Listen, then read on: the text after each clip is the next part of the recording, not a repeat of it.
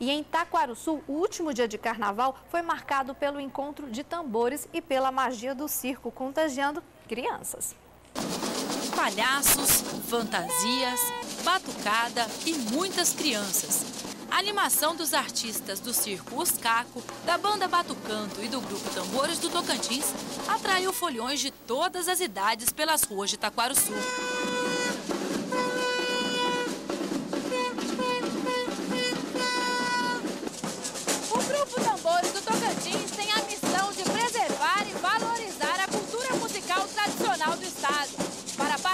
Participar do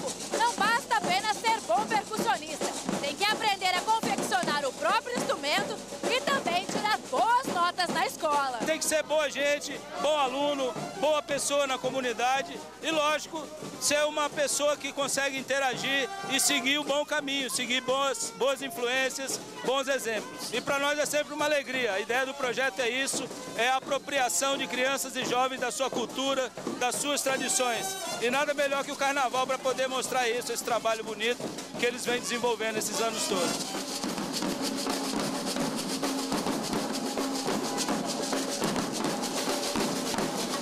Desfile, o batuque tomou conta do anfiteatro da Praça Maracaí. Na percussão, palmas sincronizadas ajudavam os tambores a ressoar música e encanto pelo local. E a apresentação agradou ao público mais crítico e sincero do carnaval, as crianças. Legal a banda que está tocando e as brincadeiras que estão tendo.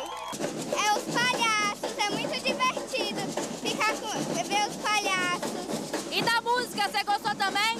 Eu gostei muito da música. Tá dançando? Tá, dá pra dançar? Dá muito. O carnaval é mais para as pessoas adultas e é, isso é mais para um circo, serve mais para as crianças de resgatar o carnaval tradicional da Folia da Paz não agradou só a criançada, não. Os adultos também fizeram a festa no distrito da capital. Eu vim para Taquaruçu, curtir de boa.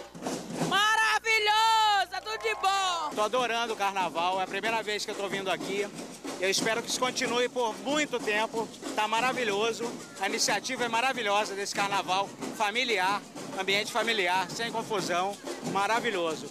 O agito aumentou ainda mais quando a banda da Guarda Metropolitana entrou no anfiteatro para selar o encontro de gerações, misturando os instrumentos de sopro com a batucada.